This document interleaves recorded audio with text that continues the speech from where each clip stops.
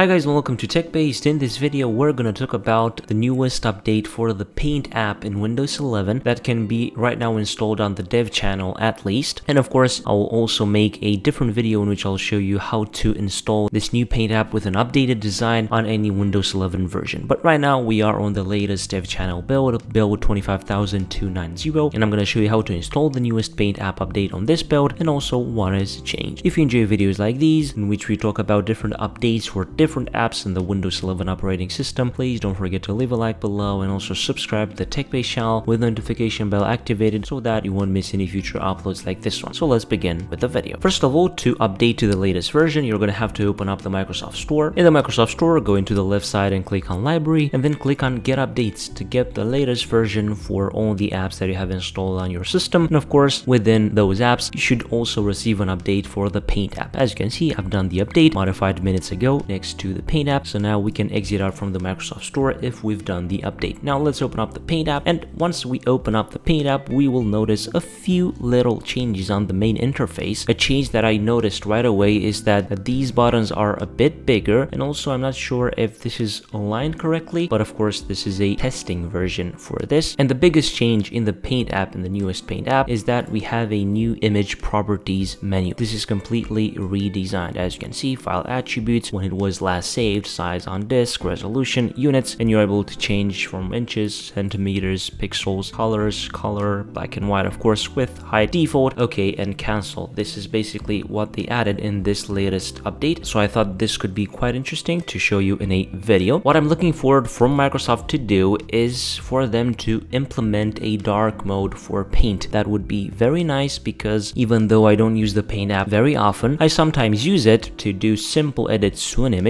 or maybe to change the resolution or something, to add a note or to highlight something. Well, it will be really, really useful if Microsoft would implement a dark mode because at least for me, I never like to use light mode on any of my windows in general because I think it hurts the eye more and a dark mode generally helps you concentrate for longer times when doing a task or something that you need to do for work. So this is basically the last update for the Paint app. If you go into about, update is 11.2301.22.0. So this is basically the latest Paint update. As I've said, if you're on the dev channel on the build 25290, you can go into the Microsoft Store, update to the latest version, and you will notice this new image properties menu and also a few design changes on the main menu. If you enjoyed this video, please don't forget to leave a like below and also subscribe to the TechBased channel with the notification bell activated so that you won't miss any future uploads like this one. I was Emmanuel from TechBased. Until next time, have a nice day.